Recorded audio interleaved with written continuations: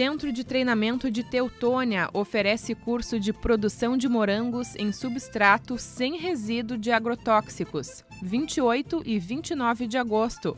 Mais informações através do telefone 51 999 35 9236 ou ainda pelo e-mail.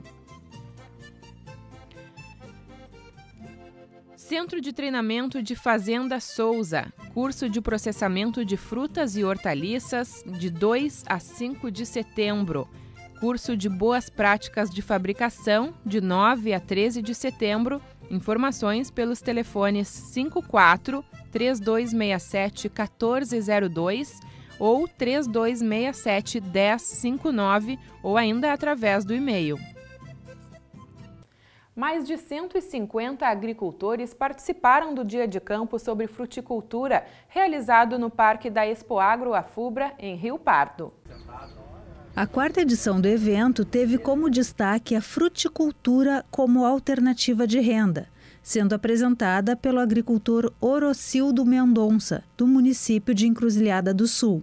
A família do agricultor tem na produção de maçã, amora, uva e morango a principal fonte de renda.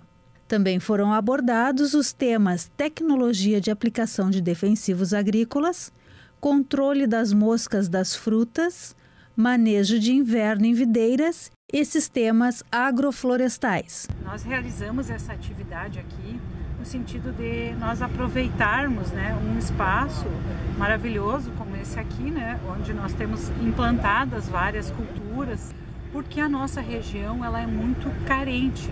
Tem uma grande demanda de frutas que, que não são abastecidas pelos agricultores da região, que vem a maioria das frutas, excetuando banana, elas, elas vêm de fora da região. Então nós temos um potencial de clima para a produção aqui, temos uma diversidade eh, uma de altitude, nós temos de 100 até 700 metros de altitude dentro da região e que nos permite a implantação de vários, várias culturas.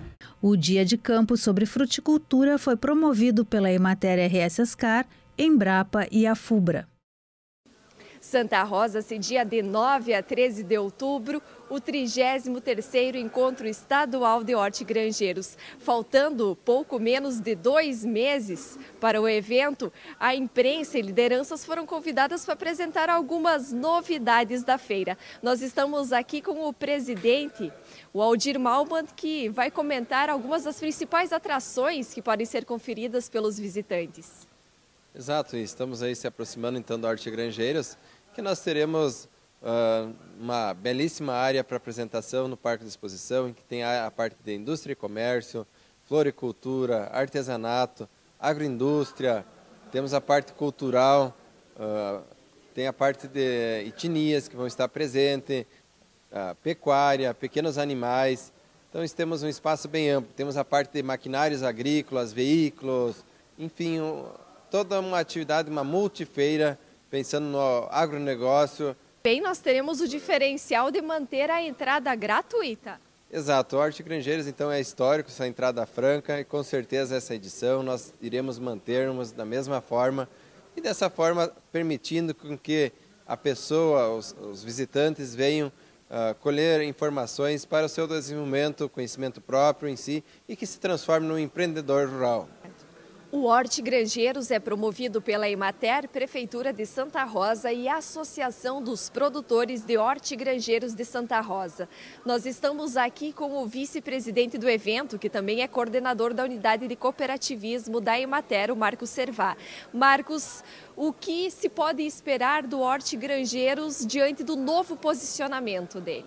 Então, a 33ª edição do Horti Grangeiro, né, ela vem trabalhando ah, com o propósito de dar uma sequência a toda essa história que, que a feira ah, obteve né, ao longo desses anos, né, desde 1983, a primeira edição, né, acompanhado de perto ah, pela Imater, né, acompanhando os produtores, que é o foco principal do, do hortigranjeiro.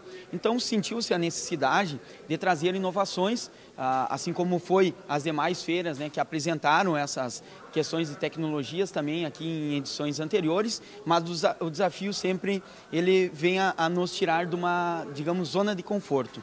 E a ideia então partiu é, de transformar o HORT, fazer com que ele é, possibilite é, essa área de atuação que é também o, o trabalho desenvolvido pela Imater, que é a questão da diversidade da produção. E diante dessa diversidade de produção, reconhece a nossa região com um polo de, de, de tecnologia também para grandes culturas, que isso contribuiu muito para o desenvolvimento local, mas também nós temos que dar sequência e apresentar inovações também para aquela propriedade que ela, ela digamos, ela tem uma extensão territorial menor, mas de longe, ela, ela tem um faturamento menor. Ela sim é uma propriedade é, grande em faturamento e com isso ela precisa inovar, precisa trazer novas é, tecnologias voltada à questão de aumentar a sua produção, produzir com maior qualidade e se pensou nesse local, né, de um espaço exclusivo da mostra tecnológica. Mais de 100 mil pessoas são aguardadas no evento que acontece no Parque Municipal de Exposições de Santa Rosa. Nós já falamos aqui no programa sobre os sistemas agroflorestais. Eles trazem benefícios para o meio ambiente e para os produtores. No vídeo a seguir, você confere que benefícios são esses e também algumas técnicas para a implantação desse tipo de sistema. Quanto mais diversidade, melhor. Sistemas agroflorestais, agroflorestas ou agrosilviculturas unem árvores e arbustos a práticas agrícolas e pecuárias numa mesma área, ao mesmo tempo.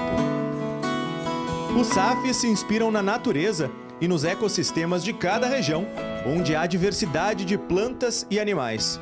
E equilíbrio. Basicamente imita o que a floresta faz normalmente. Uma diferença da floresta planejada pelo agricultor é que ela é direcionada. As vantagens envolvem três esferas. Em termos ambientais, serve para a recomposição ambiental de áreas nativas ou não, como barreira natural e quebra-vento, na formação de mata ciliar e proteção de nascentes, ou para recuperação do solo, que está sempre coberto por vegetação.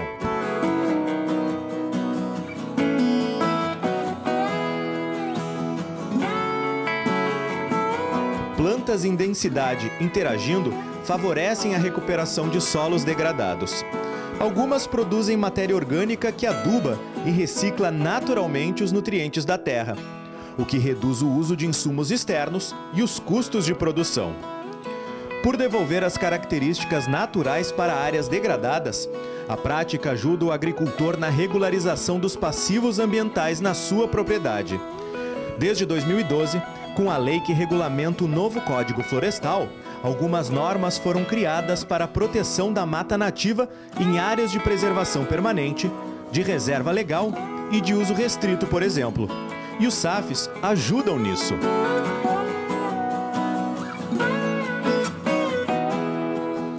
A exploração de agroflorestas pode atender a essas exigências se devidamente certificada pelo órgão competente. O documento, além de reconhecer essa biodiversidade e o seu valor econômico, social e produtivo, ainda permite que o produtor ou extrativista explore a área de forma sustentável a partir de boas práticas de manejo. Na questão social, os SAFs estimulam uma produção de alimentos e produtos de forma diversificada, com garantia de segurança alimentar para as famílias produtoras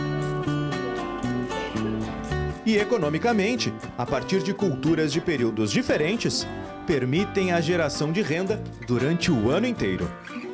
A diversidade resulta em frutas, grãos, hortaliças, produtos medicinais, madeira, lenha, produtos de origem animal, pastagens. Depende do perfil de cada agricultor. Em curto prazo, a receita vem de espécies anuais ou daquelas que produzem enquanto as árvores maiores ainda não se desenvolveram. Com o tempo, as espécies frutíferas e lenhosas se tornam a principal fonte de renda, com redução em mão de obra devido à menor exigência para manter esse tipo de vegetação. As espécies utilizadas podem ser nativas da região onde os SAFs estão instalados ou vindas de fora, desde que adaptadas ao local. Um exemplo bastante conhecido que se baseia na proposta é o projeto Quintais, desenvolvido pela Embrapa desde 2004. São 35 produtos cultivados em uma mesma área. Uma forma de garantir a segurança alimentar e nutricional de públicos em situação de risco. As agroflorestas são sempre mais complexas ecológica e economicamente do que os monocultivos. Aumentam a eficiência produtiva, econômica e ambiental dos sistemas produtivos, diminuindo a pressão pelo uso da terra para a produção.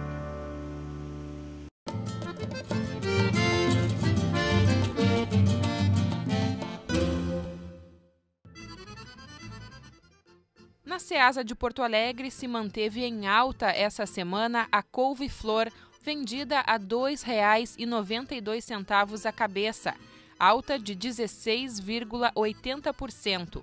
E o pimentão verde, vendido a R$ 3,50, teve aumento de 16,67%. Em baixa se destacou o tomate caqui longa-vida, R$ 2,75, com redução de 21,43%.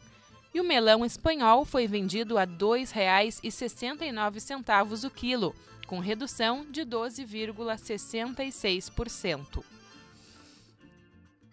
No próximo bloco, os preparativos da Emater para a 42ª Expo Inter e uma receita de pudim de batata doce. Música